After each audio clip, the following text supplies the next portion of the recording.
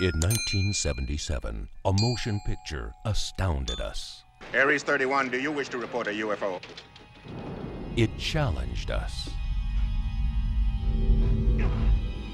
It dazzled us. It took our breath away. From the brilliant imagination of writer-director Steven Spielberg, the masterpiece that started it all. Now, Close Encounters of the Third Kind, the Collector's Edition, featuring an exclusive making of retrospective with new interviews and never before seen footage. An all new experience. A journey you'll never forget.